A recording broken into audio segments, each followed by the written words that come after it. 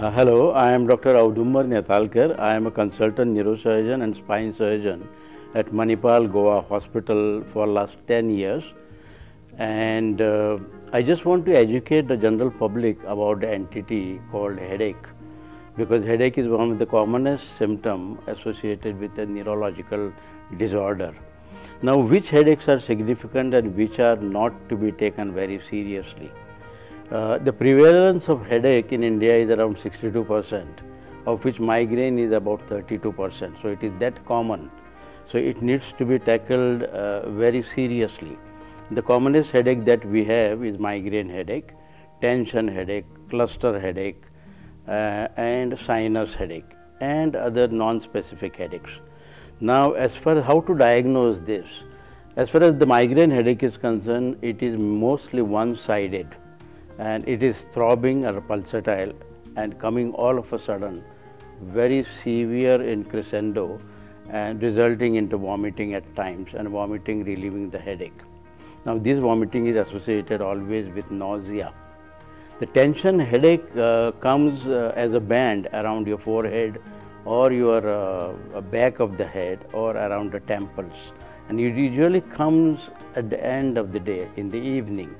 Now this tension headache is not secondary to tension, it is called so because there is a tension in the muscles of the head. The third headache is the cluster headache which is usually behind eye, very severe stabbing and with crescendo and descendo resulting into vomiting at times and other non-specific are related to fever, any uh, temperature that you have can give rise to headache. Uh, one more headache we should be aware of is the sinus headache which usually comes on the forehead or below the eyes associated with the redness of the eye or running nose. Now uh, coming to the headache associated with a brain tumor which people are always worried. With three, four days headache, they will come to the doctor and say, Ki, I may have a brain tumor. It's not like that. Usually, a headache which is around five to 10 days old, you must consult a neurospecialist. And the brain tumor headache usually comes early morning. It wakes you up from sleep. And this is dull, it's not very severe.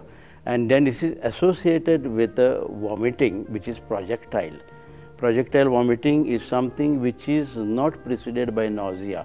It just comes up suddenly because of raised of the pressure of the brain leading to vagus nerve stimulation and vomiting. And this vomiting usually relieves the headache.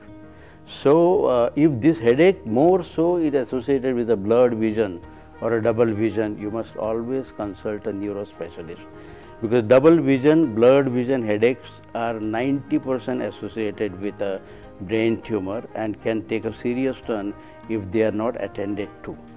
Also, any headache associated with a, paralysis of the hand or leg on one side or numbness of the hands or legs or any associated uh, symptoms like unconsciousness, epilepsy, you must immediately consult neurospecialist.